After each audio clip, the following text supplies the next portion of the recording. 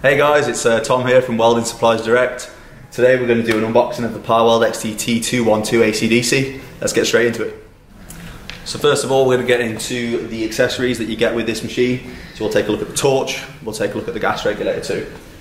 Uh, so first of all the torch that you get, it's a WP26, it's a 4 metre uh, in length and you get the Amphenol plug pre-fitted to it as well. It's one of Parweld's ProGrip Max torches uh, which is a really nice moulded torch. And you also get the on torch uh, control, which can control your amperage up and down. Uh, so a really nice quality torch, great to use, really comfortable, really nice ergonomic shape to the handle. Uh, great bit of kit to be fair. So that's the torch. We pop that back in its box. That's the regulator that you get is uh, one of Parweld's single stage dual gauge regulators. Uh, so the two gauges on it show the contents of your bottle and the other one shows the flow rate that's coming out of the gas regulator. So if we take that out of its packaging, you can see exactly what's what as a close-up. Uh, the thread on it is a uh, 5/8 BSP, which is standard for a UK gas bottle, and it's a top entry regulator. Uh, so if we give that a, a quick close-up, you can see that's a good quality regulator. Uh, so let's move on to the actual machine itself now. So now we'll move on to the machine itself. Uh, so we'll pop it open. Uh, really nice to see that it's well packaged, plenty of styrofoam to keep it safe.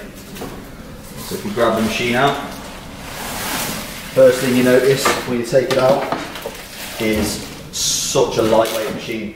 Uh, 12 kilos according to the specifications and that certainly feels accurate from taking it out of the package.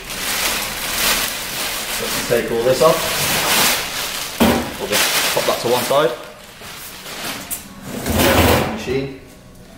So you can see it comes with a nice bit of plastic wrapping over the over the protective shield. Uh, you've got a nice simple looking control panel there.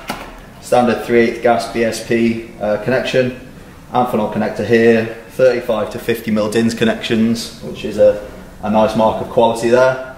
Uh, on the back, you've got the on-off switch, uh, the cable and the gas input here uh, which looks to be a snap fit connector, which is a nice little uh, point from, uh, from Parweld. You've then got the power connection cable, uh, which as usual in the UK will come with no plug pre-fitted to it, uh, so it's recommended you to fit a 16 amp UK plug onto that.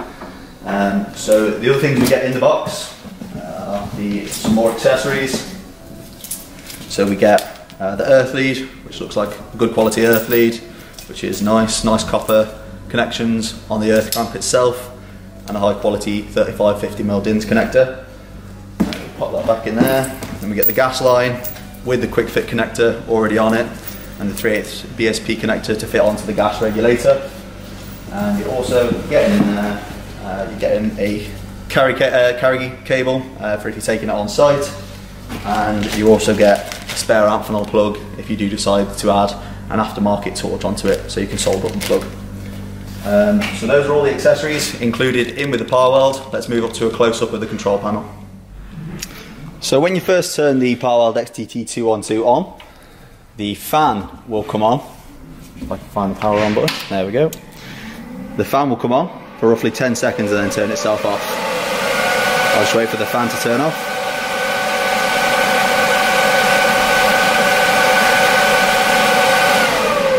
Brilliant. Now looking at the control panel, uh, you can see it's laid out very logically, very easily. Uh, we've got here the pulse on and off button, uh, so that will turn it off, uh, pulse and on pulse uh, when it's uh, welding. This is to turn it from high frequency to lift TIG. When it's on, it's high frequency. When it's off, it's lift TIG. Let's keep that on for now.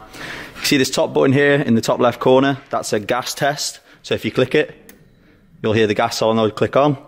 If it was connected to a gas bottle, you'd hear a, a rush of gas through, and then you can just press it off to close the gas solenoid. Over here in the top right corner, you've got your two touch and your four touch, whichever you prefer. And just here, you've got switching between AC and DC uh, output. In the middle here, you've got your uh, control knob. Now to, uh, to run through this, you select uh, the part you want to adjust. You would then click onto it adjust as necessary, click it again until the light stops flashing, and you can then adjust through all the different things you would need to adjust your pulse, your pulse frequency, your main amperage, your upslope, your downslope, everything you would need to do all the way down to your post gas. Uh, if you were to go onto your AC mode, that opens up your AC frequency and your AC balance, uh, which is down here, um, which are really useful features to have. Now what we'll do is we'll go and take a look through uh, through the stick, uh, the MMA um, process, and uh, we'll go straight onto that now. Okay, so now we're looking at the uh, stick or MMA function on the uh, Parweld XTT 212. Uh, it's worth noting when you do put it into MMA mode that there is a constant running fan, so don't be alarmed if that happens. So if we press the button over here, that puts it into arc mode. As you can hear here, the fan comes on, so I'll do my best to speak a bit louder. Uh, so you can see it's a maximum amperage here of 170 amps on the uh, stick output, all the way down to 5 amps. So let's say if we were running 3.2 mil, you pop it down to about 110 amps, and you can then uh, use this button to uh, flick through the arc force and the hot start. Now if you click onto the arc force you can adjust that as you see necessary, keep that at zero for now and then if you flick over to arc force each one of these points represents a 10% increase in the hot start. So if I wanted uh, a, where are we? A 50% hot start I would leave that there and that would give you a 50% hot start when you strike the arc. Now to take it out of MMA mode, you press this button here, puts it back into TIG mode, and then after a short amount of time your fan should turn off. Um, you can also have your AC-DC output on stick, so if I pop that back into stick, you can still select between your AC output or your DC output on stick welding, which is a very nice feature to have, but not many AC-DCs on the UK market have. So that's the MMA uh, function on the XTT212. Uh, let's go to finishing comments now. So concluding comments on the Parweld XTT212. Uh, overall, it's a really, really good quality, uh, compact AC/DC TIG.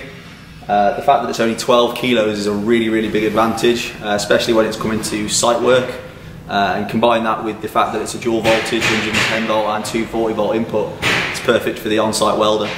Uh, the way that it's controlled, really intuitive, really easy to, to use, uh, and uh, the features in there are absolutely brilliant and, and really useful too.